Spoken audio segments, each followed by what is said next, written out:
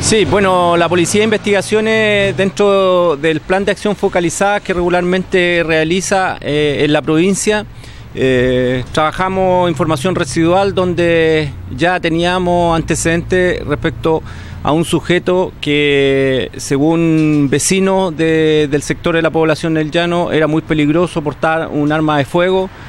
Eh, regularmente se le había visto en esta circunstancia eh, razón por la cual se dispuso una vigilancia policial que terminó con la detención eh, el día ayer en hora de la tarde en la población El Llano, en la vía pública. El sujeto se movilizaba eh, en una moto. en la fiscalización, al registro de sus vestimentas se le encontró una pistola específicamente con, con un cargador con munición calibre 9 milímetros y se procedió a su, a su detención. El tipo cuenta con eh, un amplio prontuario de antecedentes policiales por hurto, infracción a la ley de droga, infracción a la ley de armas y lesiones. Eh, respecto a esta arma de fuego, eh, se consultó, tiene encargo por robo y fue sustraída en la séptima región. Estamos ya realizando coordinaciones con colegas nuestros de, de esa región para conocer las circunstancias eh, en qué fue sustraída y también si está vinculada a otros delitos eh, en que se haya utilizado esta arma de fuego.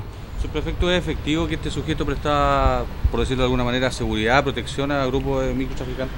Según la información de inteligencia policial que tenemos, eh, se le había visto de alguna manera dando algún, algún grado de protección a microtraficantes de acá de, la comuna.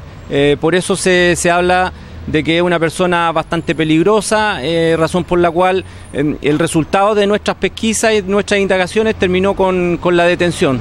Eh, con esto eh, seguimos en la línea siempre que hemos dado a conocer en la Policía de Investigaciones de trabajar de manera conjunta con autoridades y con la comunidad porque gracias a la información que ellos nos aportan nosotros podemos trabajar estos antecedentes trabajarlo conjunto con la Oficina de Análisis eh, Criminal que cuenta la Policía de Investigaciones y eh, nos ha arrojado resultados como estos.